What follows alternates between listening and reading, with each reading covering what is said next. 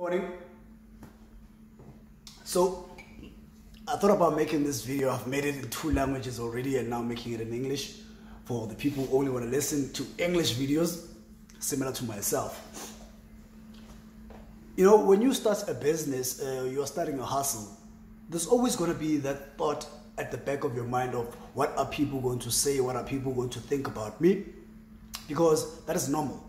You know, that, that's what we all do but in this video, what I want to discuss is that you actually should not really care about those things. Because here's the reason why. When you start your business and people from the outside are looking at you, they'll look at you like you're crazy, not because they think it's impossible per se, but they think it's impossible because they tried and it didn't go well. So like, who does he think he is? Starting a business. I've started a business before. I've started businesses before and they all failed. And I'm smart, I'm older, who does he think he is? You understand? And you can't be taking that to heart. If you start your business and your start your business starts doing well, like, oh, his business is doing well. Now, because you've removed yourself from negative people, these very same people who would have said that your business is going to fail will start thinking to themselves or start talking amongst themselves or even to you that this guy thinks he's better than us because now he's making money now and we are not making as much money as he does, then he does not want to associate himself with us. If not that, then your business is starting and it's not really progressing. No, keep on saying, see, I told you. I told you nothing is going to happen with this guy. I told you. If your business fails, because most businesses are going to fail, and that's how we learn, most of us as business people the business might fail. And if it fails, I said it. Who does he think he is? Starting a business. I started a business and it failed. Now look at him. You shouldn't care about such things. Because if you care about such things, you are going to take it to heart and you're not going to start over again. You see, if you fall eight times, you have to stand up nine times.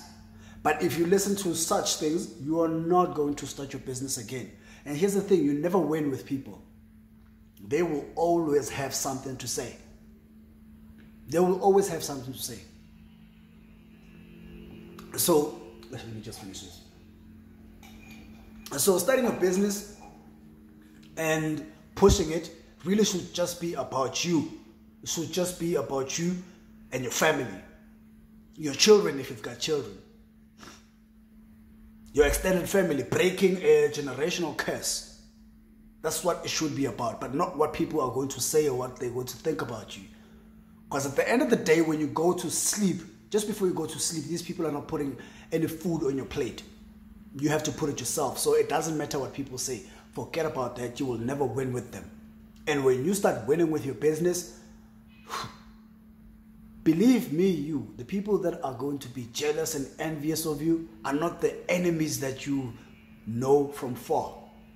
They're going to be your close friends. They are going to be your close friends. They are going to be your family members. These are the people that are going to start hating on you. These are going to be the people that are envious and jealous of you and are talking shit behind your back.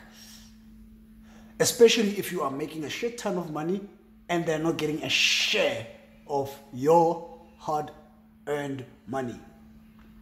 Because that's what they want. They want a share of your hard earned money that you worked for.